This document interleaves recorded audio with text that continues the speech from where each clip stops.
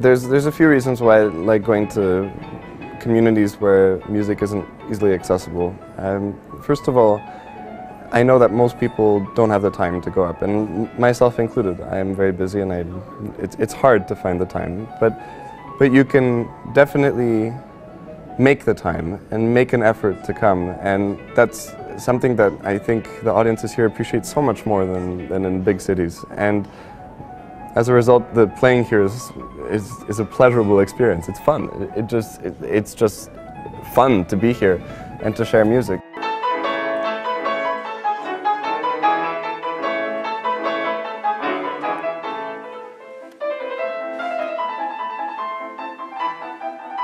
I think, I hope, and it seemed that, that the event was inspirational, that they were inspired to touch the piano, to figure out music, and I think I was really impressed by how open they were and how willing to listen, how respectful, and how uh, genuinely interested. It's, it was really great to see.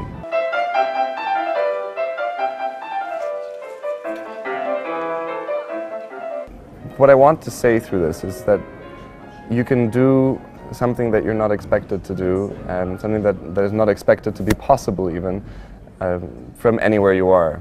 Irrespective of if you're in La Ronge or if you're in Calgary playing classical music, you, if you follow your passion, I think you can make a go of it. And you can definitely, it can lead you somewhere.